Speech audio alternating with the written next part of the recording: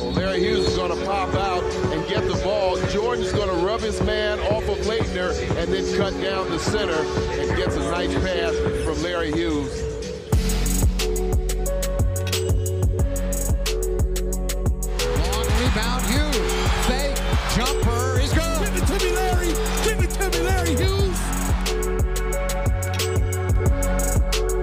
All right, everyone, welcome to this week's Bleav in Wizards podcast. I'm Matt Modderno. I'm joined by my co-host, as always, Larry Hughes. Uh, Larry, how's your week been going? Hey, it's going well, man. It's going well. The weather's getting a little nicer, so it's just kind of hanging in there. Today, we're joined by a special guest. Uh, Muggsy Bogues is a Baltimore native, where he played on one of the greatest high school teams of all time, in my personal opinion. He was a Wake Forest star point guard, where he led the ACC, or is the all-time ACC leader in steals and assists at the time of his graduation, and then was eventually a lottery pick to the Washington Bullets. Uh, but basically put the Charlotte franchise on the map and played for you know 14 years in the NBA. So Muggsy, thanks for joining us today. Ah, thanks for having me, guys. Appreciate it. I think a lot of people think of you in those uh, teal Hornets jerseys, but you were you were actually drafted by the Bullets. Um, what was that like to end up, you know, drafted to the team that was kind of the closest local NBA team to you? I mean, the day I got drafted, of course, it felt like it was the weight of the world was lifted off my shoulders. And of course, being drafted by the Bullets, you know, it's basically right in your backyard growing up in Baltimore. You know, knowing that you've seen so many games with the Bullets, but never thought that you'll be possibly playing with them. And uh, but having the opportunity to play with the late Moses Malone, uh, may rest in peace, the Manute Bol, may he rest in peace, the Bernard Kings, and you know at the time Darrell Walker. Uh, so I had some fun times there. You know, Kevin Loughery was our coach at the beginning of the first 14 games until they uh, brought in Wes Unseld to take over for him. So it was great times. Yeah, you just ran past, you know, Bernard King and, and Moses Malone, like you know, they just they just regular people. But you know, what what was that experience like? I mean, coming in, you know, early on. I mean, did that you know get you off in the in the right start? Oh, absolutely. Because you know, back in in the '80s, as you guys witnessed, as Mike was alluding to some of the things that he witnessed in the locker room. You know, that's some of the things that I witnessed. You know, walking in, uh, guys, you know, used to smoke cigarettes at halftime and drink beer. And you know, as a college collegiate kid coming in, you wasn't you know used to that. But just being you know tutelaged by those guys, you know, Moses really took me under his wing. You know, he was my my my my vet. He got to kind of taught me the things on and off the court with the dudes in the dumps. And uh, and then of course watching Bernard, you know, he was just coming back from off of that major knee injury, you know, so he was kind of wanting to, you know, uh, resurface his his his career and kind of let everybody know that he was still capable of going. But you know, those two guys, I mean, Hall of Famers, you know, you gotta, you know, tip your head off to those guys in terms of watching them night in and night out, how they prepared, and that kind of gave me an idea indication what it's going to take to kind of sustain a long career in the NBA. Charles Barkley recently came out and said that Moses Malone was a big, uh, big mentor for him as well, and, and helped him with his career. Was that just kind of his personality to to help guys, and or is that something you kind of sought out as a relationship too? Uh, uh, Moses, Moses was the best. I mean, he was the greatest. He had such a passionate heart, but was very fearless on the court. Um, you know, he was a guy that understood the game, and he kind of taught me the, the, the, little details about what my strengths in terms of how to cater t- towards it. You know, because he was a guy that loved to get rebounds, and he was talking about how the little things that he used to do to tip the ball back to him to add up his stats and the rebounds, and you know, just give me a little details in terms of how to, you know, as a good little guy to continue to, you know, build up your, your stature and, and, gain the respect in the league. Uh, and that's the way that you know I approach each and every time I kind of played the game and watching that guy like that. I mean, but uh, he just wanted to pass on that knowledge, and I can see why Barkley felt that way. Yeah, yeah, just feelings and thoughts. I mean, I know that that you know you, you didn't stay there long. You you were in that expansion draft, and you know just thoughts on leaving, obviously hometown again. Um, you know, what, what's your thoughts on on on that? I mean, were you you happy? You excited? You wanted something of your own? I mean, what's what's that thought process when you are drafted again? Well, at the beginning, you know, I was a little, you know, disappointed because, you know, being a lottery pick, man, drafted number 12 and felt like, you know, at especially after the season was over, we just lost to Detroit in the playoff and beat us in, in five games. And uh, then coming back, having your exit meeting and, and then being told that, you know, we're going to kind of get rid of some of the older guys because a lot of those guys was kind of on the tail end of their career and we was going to kind of bring some players around you to kind of fit you know, the criteria that you know that fit your game, kind of up tempo. And that was being told right at the X meet. But as soon as I got home, getting a phone call from my agent, and uh, and he was asking me, you know, Muggsy, how you feel about Charlotte? And I'm like, Charlotte, I didn't know Charlotte was a team. And he said that Charlotte Hornet just became an expansion team, and they've been inquiring about you. They want you, and uh, and talking just spoke with the Bullets, and they said they was gonna, you know, put you and let you be on the uh, the non-protected list. And I just told them, I said, well, I just left my exit meeting with them, and they just told me how they was gonna, you know, bring in players and get rid of some of the older guys. And that kind of gave me a little different feeling. I'm like, okay, welcome to the NBA. I'm, I'm assuming, man, you're being told one thing, and here it is behind doors, another thing is happening. Yeah, I, I think we all, you know, have that have that moment where we realize you've heard it for so many years, you heard it so many times, but okay, this is really a business, and this is how things go. They don't really have to tell you what's going on because ultimately it's a business. So I've definitely had my moments of, of understanding that it's not just about basketball. You can't always believe what you hear because you know this is this is a business, as they always say. Yeah, and as you know, you experience it, and that's the way this thing is. And and good thing for me, I got a chance to experience that early on, and uh, and from from that moment on, I treated it as that as a business because I knew that know any given moment uh, you could be said one thing, and again behind the doors another thing could be happening.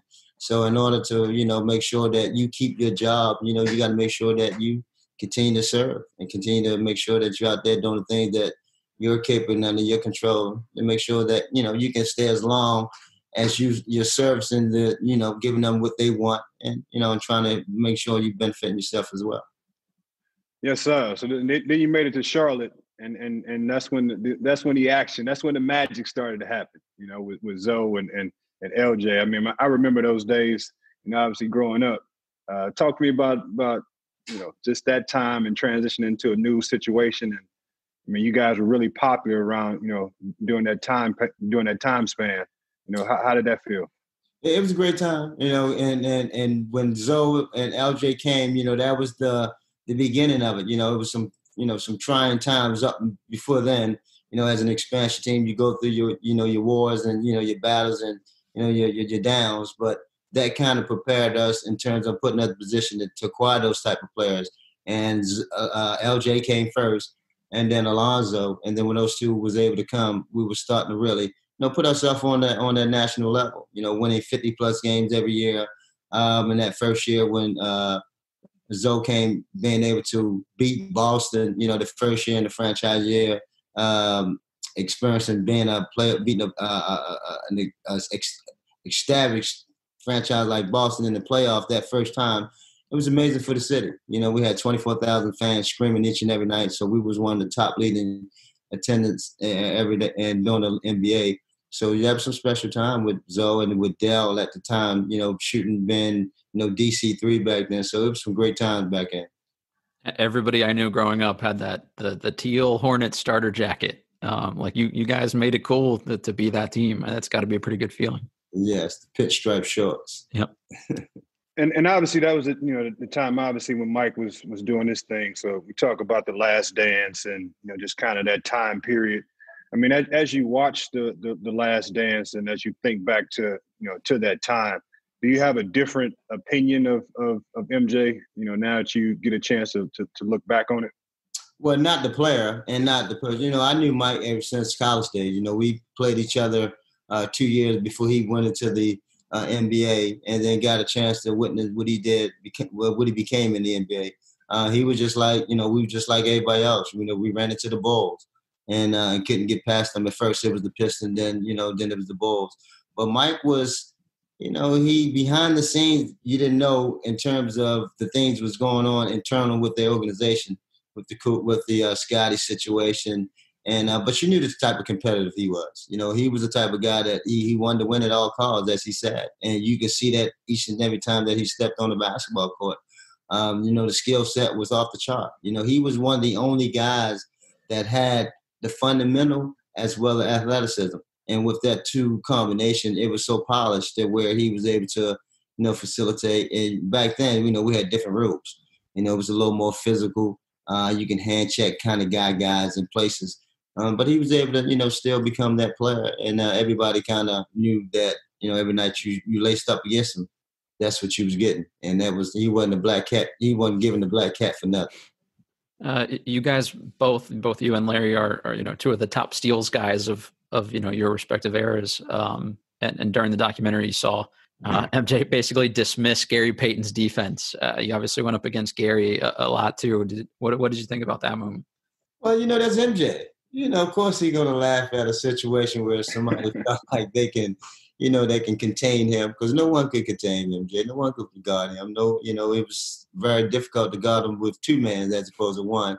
Uh, but you know, that's GP. GP got pride. You know, he got pride and felt like he did, you know, a good enough job to slow him down.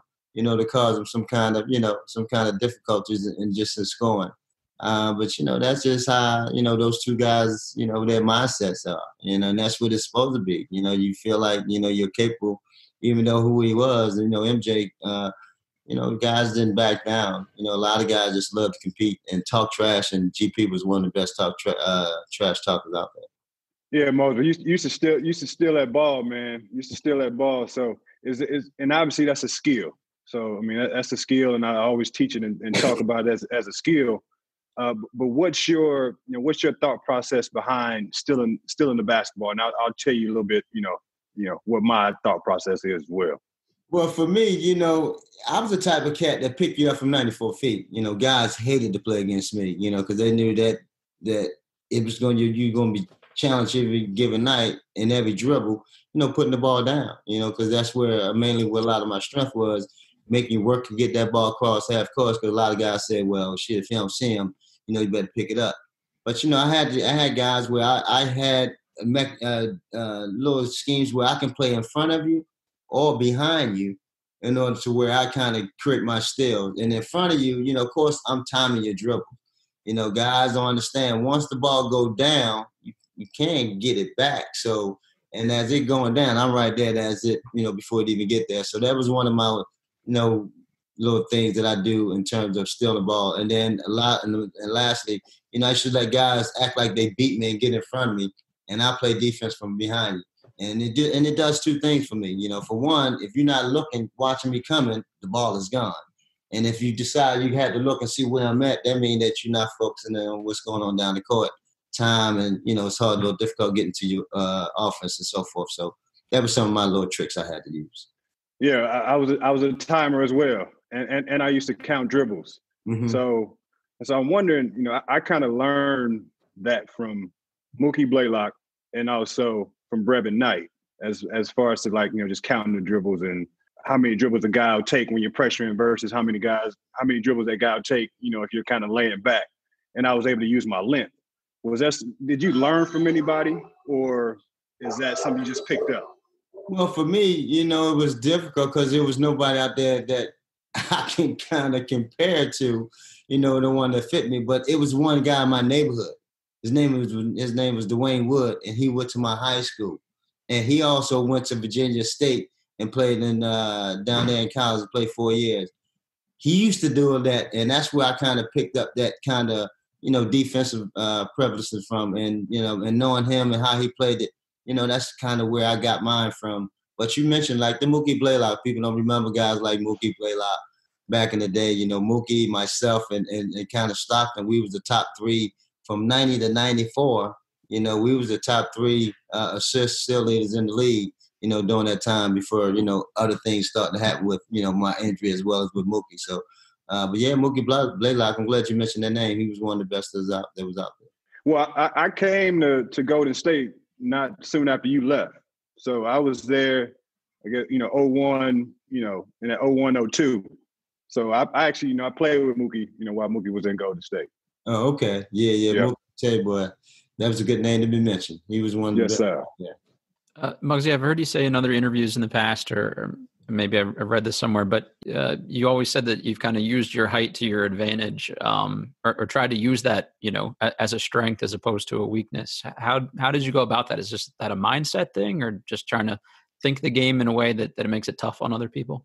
Well, I just understood who I was, and I knew I wasn't going to be much taller. You know, my family, you know, that tallest in my family was five seven. So, and that was my brother. Mom was five one, and Pop was only five six, so I knew we was you know I wasn't gonna get much taller. And the way I studied the game and where I understood the game as a point guard, you know how to create, how to make guys around you better, as well as get yours off and and just cause havoc for my opponent. You know, knowing that I had that, you know, my size can kind of play into that, you know, play an advantage. Then why not use it? And you know, being low to the floor, right there close to the ball, you know, I kind of understood where guys were, and anticipation was one of the best things that I had, and so that would allow me to keep being that type of player I became and cause a lot of havoc for my opponents. And just just to piggyback off of that, you know, Muggs, you know, we hear, that little phrase of heart over height. Um, and I work with a lot of young people. I mean, obviously, we tell them to you know get good grades and keep growing. And our young people will hear this eventually. What what what is your you know thoughts on that phrase, uh, heart over hype. Well, that's where it is. You know, you definitely got to have that big heart because no one measured that besides you know what's inside. No one can be an expert of it. And that's one of my things my mom always told me as a kid. You know, tired when I was shooting tired, no one can be an expert in your life. No one know how big your heart, no know your capabilities, know your potential. And at the kid at the time, a kid, you don't understand that it's just coming one end out the other. But as I got older, it really started to resonate and start to really understood that, yeah, my mom had a point there. You know, no one really understood how big your heart is, and you know, you know your skill set. And for smaller guys, you know, I always want to tell them we can't play the game the same way. We don't have we can't play the game the same way as a bigger guard. You know, we have to impact it a totally different way. And that's why a lot of and I'm waiting for this one five two five three guard come along. You know, we had a couple of them that's out there, but some of them seem to don't want to follow that path and they want to, you know, become that score, you know, and thinking that's the way to impact the game. And for our size, it got to be more than that, you know, defensively, because that's where they're going to come at you at the first and foremost and tack you. And you got to be able to withstand that aspect of it. You got to be able to change it in that way of it and be able to create and, and control the team and control your, you know, and make guys around you better. At the same time, you got to be able to get yours. So, you know, that's why I try to convey to the smaller guys, we can't play the games the same way as a bigger God.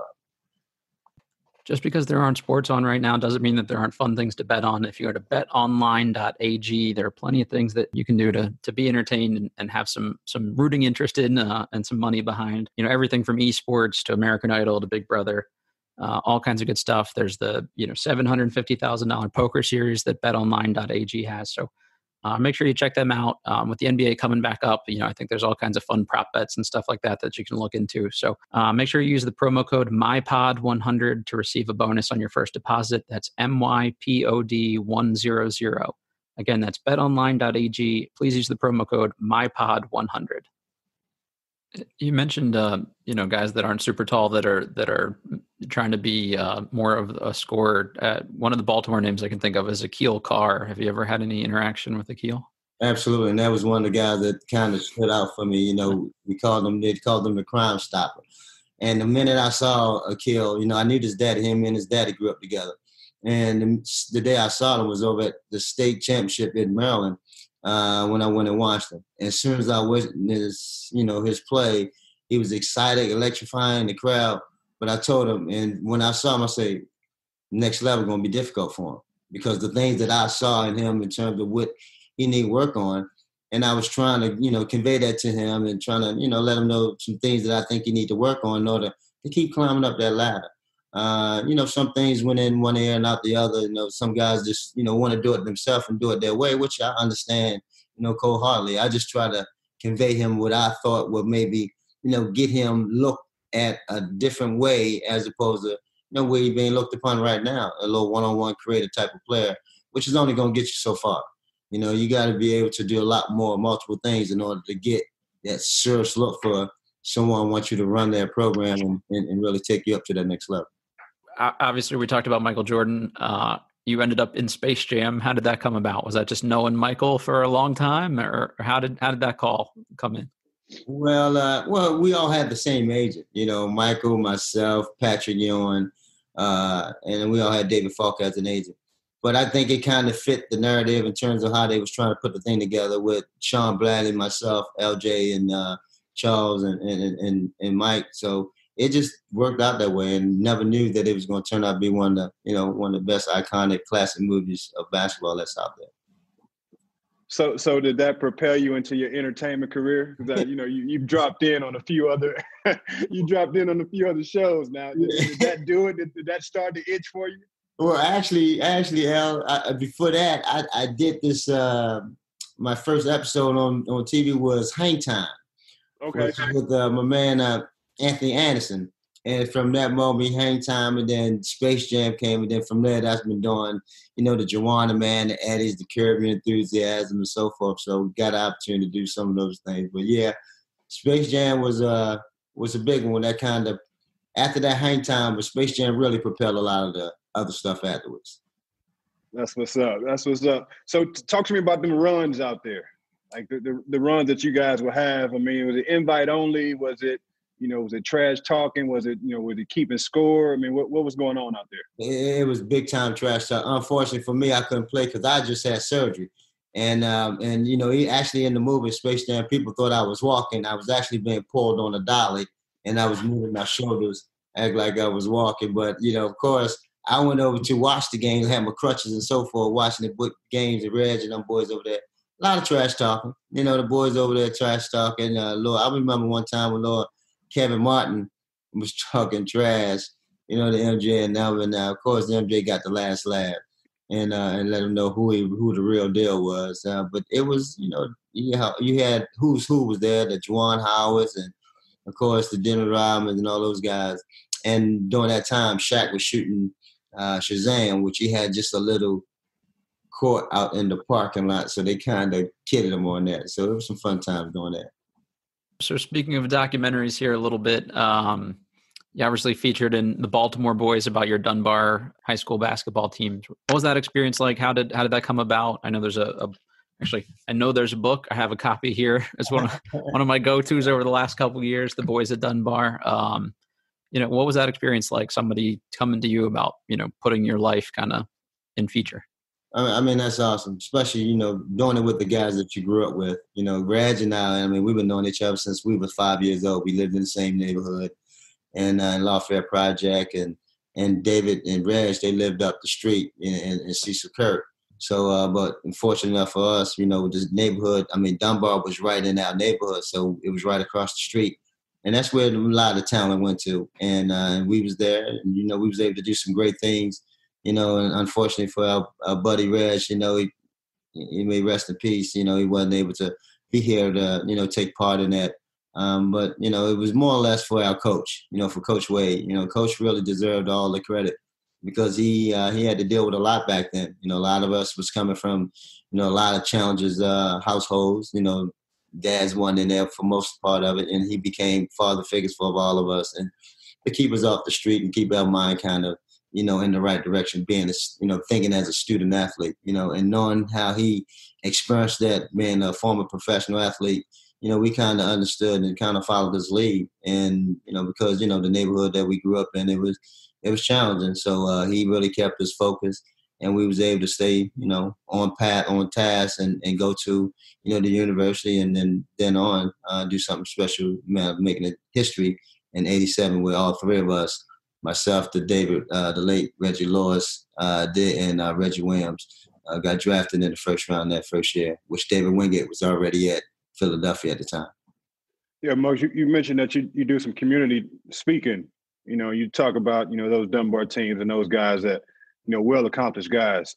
Like, w- what's your message to the young people that are you know growing up in those same parts? Uh, obviously, those same housing projects may not be there, but you know the, the same community is. So like, what's your what's your message like to not just to the basketball players, but just like to the youth, like to create a successful conversation or you know journey for them? Uh, first and foremost, you know, I hope they have confidence within themselves uh, because that's where it starts. Um, and a lot of guys and a lot of girls are going through trying situations, you know, growing up in those type of atmosphere, no telling what's going on in the household. And I just want to hopefully that they can find some kind of safe haven where they can believe in themselves, to where they can kind of dream and visualize what they want to be in life, because that's where it starts. You know, dreaming out of that atmosphere that we're in and, and, thinking of something that's more bigger and better that you know, that we're in right now. And and it's possible because, you know, they've seen they got testimony for a lot of people that came through those type of uh, situations and hopefully that they can, you know, have someone that give them that type of shelter where they can, you know, reach that full potential. Because we got so many talented, talented kids that's growing in those uh, situations that the only thing they need is resources and a little helping hand. And sometimes they don't have it. And hopefully, you know, when I was growing up, you know, we always said took a village and raise the kids, and which it was. And hopefully that we can continue to have that same type of model where, you know, when we see these kids in situations like that, where we can kind of keep encouraging them. Because that's all I need. Someone saying that you can't be that, whatever that you current in that thought process in your head. You know, you can't be that. Just stay on path, stay on task, and that dream will come true. You know, we can if they hear that more and more, you know, eventually, you know, their dreams will come true. Yeah, and, and, and, Matt, we started this deal as a as a Wizards podcast to talk about you know the ins and outs of the game and the X's and O's and you know roster moves or this and that. But the, the state of you know the world, you know where we're living in, it's good to to get this message out. So appreciate you, you know, coming on and giving that message because people are listening, right? That's that's really all that they have to do is is, is to listen. So uh, making sure that we're putting positive content out there. Um, you know, people that we can recognize. I mean, everybody knows mugs Everybody, you know, you can walk in any room and they know exactly who that guy is. It's not because of size. So shout out to you, man. Appreciate you for, for giving those words.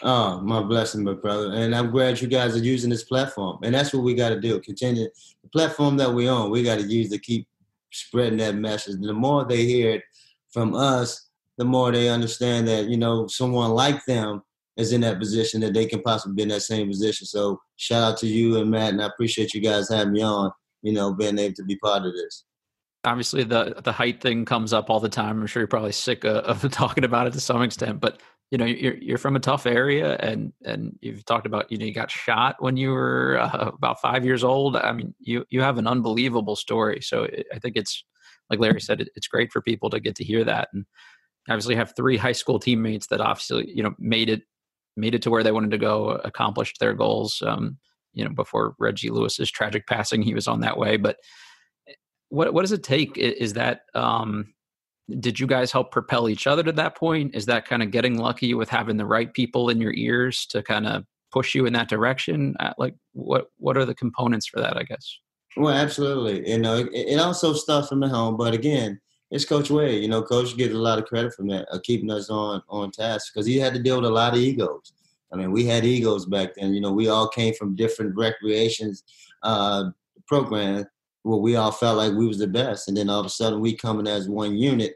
He had to make that work, and uh, we had so many guys. Not only myself and the David Wingate and the two Reggies, the late Reggie Lewis and Reggie Williams, but we had so many guys that became so successful in life afterwards that didn't play basketball.